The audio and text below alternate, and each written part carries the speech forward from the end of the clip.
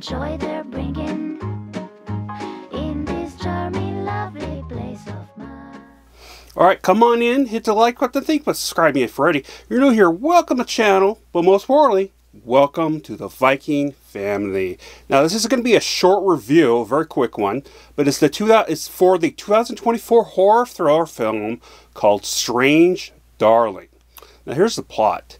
Nothing is what it seems when a twisted one night stand spirals into a serial killer's vicious murdering spree. Here is some of the cast.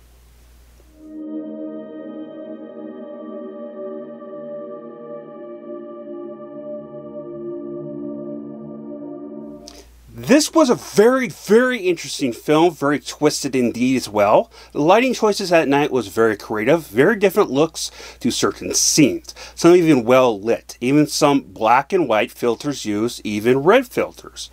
The daytime shot stood out as well, the overall shiny bright glow to real, the really cool tracking, panning, handheld shooting, all with different angles and angles from above, etc., etc very well done when it comes to the creativity of the uh, the shooting and the color grading.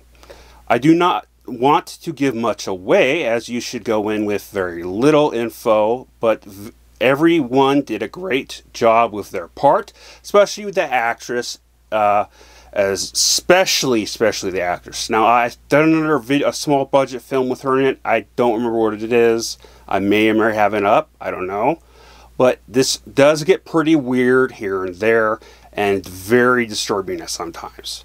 Uh, this is a serial killer, uh, like a pure serial killer type of creative project film. And it, it's actually real good. And I believe it is based uh, lightly on a serial killer uh, that went loose between 2018 and 2020 something. I don't remember the exact date, what they said in the beginning, but yeah. So here's my rating, and I'll come back with my final thoughts.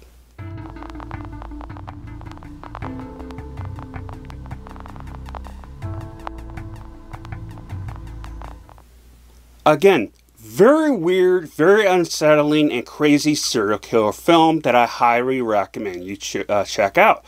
Very well shot, very well acted. Actually, the range of of uh, the the female is is is really really impressive. I think the other film that I saw her in, uh, she just had kind of a straight cross blend, and I think I didn't like her, but in this she did such a standout job that I had to look to see what else she's been in. But again, I definitely recommend you guys check out this film. Other than the information I gave you, go in with very little info outside of, again, what I said. Remember, I love you all. Please stay safe. Spread the love most importantly. Skull.